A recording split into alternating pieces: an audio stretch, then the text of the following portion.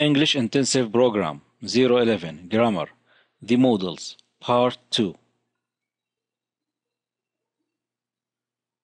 Polite questions Can and could Listen to the following short conversation and pay attention to the use of modal auxiliary. Can I please borrow your bike? Sure, here you are. Polite questions May I, could I, and can I? Use may I, could I, and can I to ask for someone's permission or agreement. Examples May I please borrow your dictionary? Could I please buy a box of candy? Can I please have a glass of water? The modal auxiliary in these examples is used to ask for permission or agreement. Making polite questions. Would you, could you, will you, and can you? Listen to the following short conversation and pay attention to the use of modal auxiliary. Could you please get me some coffee? Certainly, I'd be happy to. Polite questions. Would you, could you, will you, and can you?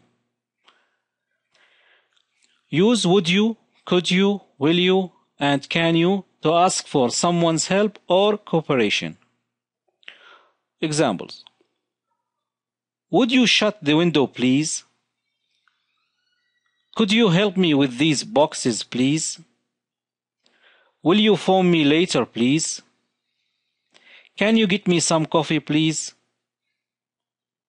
Notice that the modal auxiliary in these examples is used to ask for help or cooperation. Expressing advice should and ought to. Listen to the following short conversation and pay attention to the modal auxiliary. I feel sick. Oh, you don't look well. You should see a doctor. Expressing advice should and ought to. Use should and ought to to give advice. Examples You look tired. You should stay in bed. You ought to read this book. You're sleepy. You shouldn't stay up late. Should I trust him? Notice that the modal auxiliary in these examples is used to give advice. Notice, use maybe to soften your advice. Example, maybe you should see a doctor. In this sentence, the word maybe is used to soften the advice. Expressing advice had better. Listen to the following sentence and pay attention to the modal auxiliary. The school bus is about to leave. I'd better run. Expressing advice had better.